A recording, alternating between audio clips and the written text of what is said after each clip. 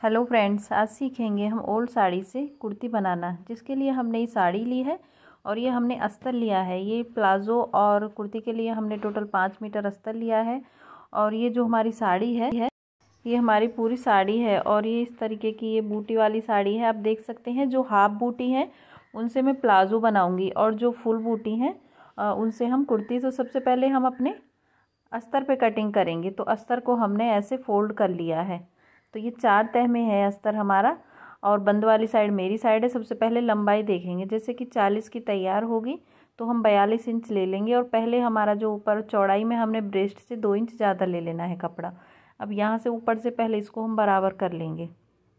यहाँ से भी, और उसके बाद यहाँ से मैं सात इंच पे अपना शोल्डर ले लूँगी। इस तरीके से, और सात इंच पे ही आर्म होल ले लेंगे, क्योंकि हम इसमें बॉट नेक बनाएँगे।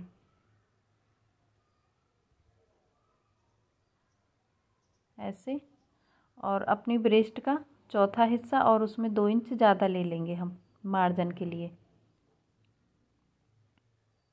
तो यहाँ से हम टोटल साढ़े ग्यारह इंच कपड़ा ले रहे हैं।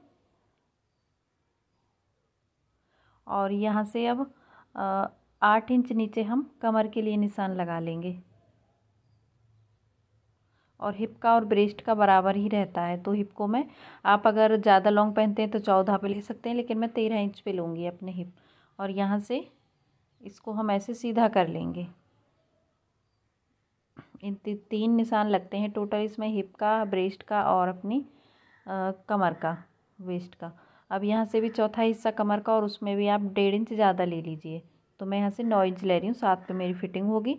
और अपनी हिप का और ब्रेस्ट का बराबर ही होता है। अब इन तीनों पॉइंटों को मैं इस तरीके से ऐसे गोलाई में मिला दूँगी। और जो हमारा, देखिए, जो मार्जन है, वो हमारा इसी के अंदर है, आपको पता है वो तो। मार्जन मैंने इसी के अंदर ले रखा है। अब यहाँ से सीधा बस कट होगा। यहाँ से हम गोलाई दे देंगे इसमें। ऐसे।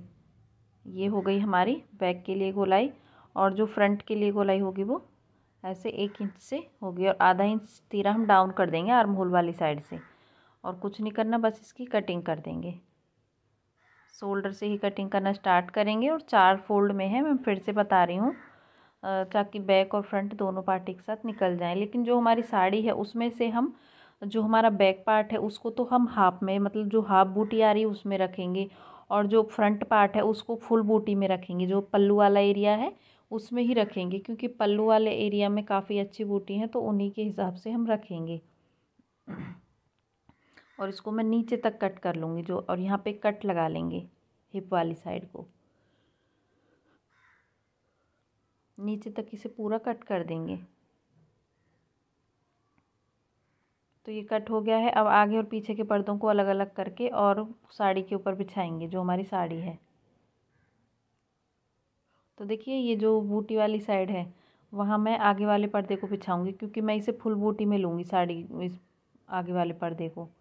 और हाफ़ बूटी में लूँगी मैं, जो हमारा पीछे हाफ़ में है, पीछे वाला पर्दा होगा। और बस इसी तरीके से कटिंग कर लेंगे जैसे जैसे ड्राफ्टिंग आई हुई है, ऐसे ही इसकी कटिंग कर देंगे।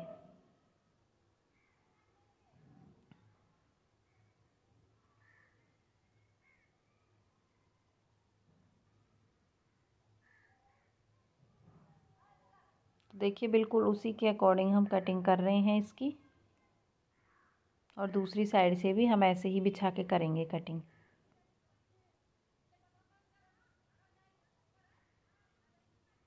अगर हम इस तरीके से ओपन करके कटिंग करते हैं तो कटिंग अच्छे से होती है और कपड़ा भी ज़्यादा वेस्ट नहीं होता और पीछे वाले को भी हम सेम ऐसे ही कटिंग कर लेंगे।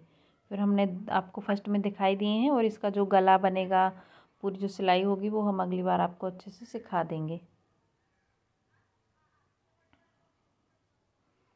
तो पीछे वाले पार्ट को भी हम ऐसे ही कट करेंगे, जैसे हमने ये आगे वाला कट किया है। तो देखिए, ये पीछे वाला पार्ट है मेरा। पीछे वाले में हाफ़ में आएँगी बूटी, जैसे कि हमने बताया, और इसको भी सेम ऐसे ही हमने कट कर लिया है। देखिए, जैसे हमने आगे वाले को कट करके दिखाया था अलग अलग पार्ट में हमने कट किया है। ये पूरा प्लेन में रहेगा, और ये थोड़ा सा उसमें रहेगा, बस बूटी इसमें आधे में आएँगी इस तरीके से। ये देखिए, ये इसका अस्तर हो जाएगा। तो कटिंग होने के बाद इस तरीके से दिखाई देगा।